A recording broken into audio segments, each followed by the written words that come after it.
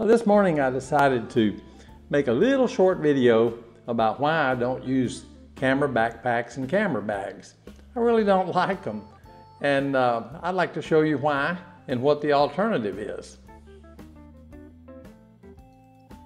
When I started making videos three or four years ago, I didn't have much gear, but I wanted a camera bag.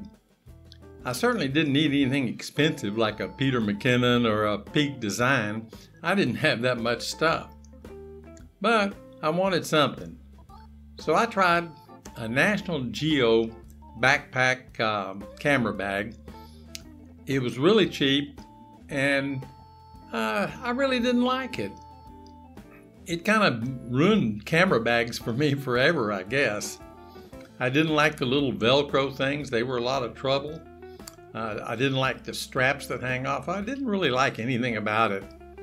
Plus, every time I went out, I took different stuff and I'd have to reconfigure the bag.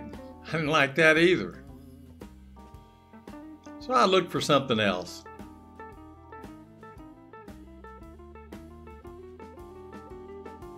All my gear and gadgets comes in little little bags or like this uh, microphone that comes in a semi-hard case or I can buy little bags for them.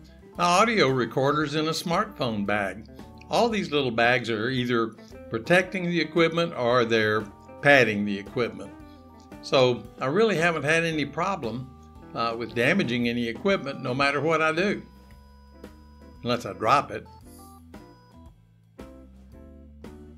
I like these little individual bags because I can carry the gear that goes with that particular item in the bag.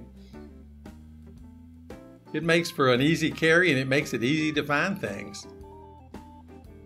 Even my gimbals and things will fit in these little bags.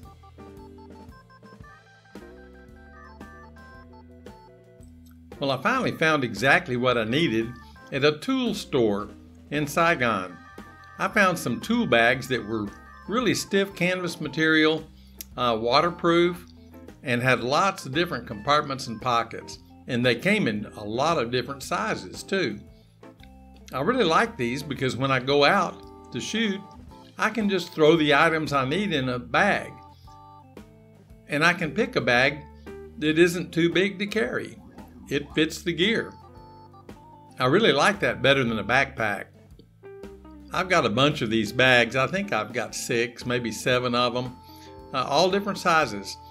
I have a couple of bags I use mostly for audio I have others that I use when I'm carrying around a gimbal or camera support equipment like a monopod or a tripod, things like that. Of course, you can't put a big tripod in one, but you can certainly put a travel or a tabletop tripod in one. These things are just really handy. I don't have to mess with that Velcro stuff. Man, you just don't know how much that irritates me overall, the solution for me has been really good.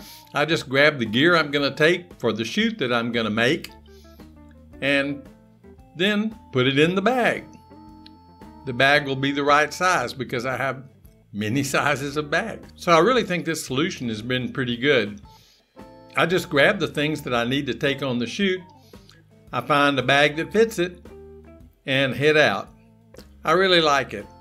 I don't have to carry things that I don't need. I don't have to reconfigure the bags. It just works. And in all this time, nearly three or four years of traveling and flying and everything with my gear, never had anything damaged. So overall, I'd say it's a good working solution. Also, it doesn't look like a camera bag, so people aren't trying to steal it. That's another really good benefit of these little bags. This is JR, the Texpat on the go. Just trying to show you how I get my stuff to go with me. Thanks for watching.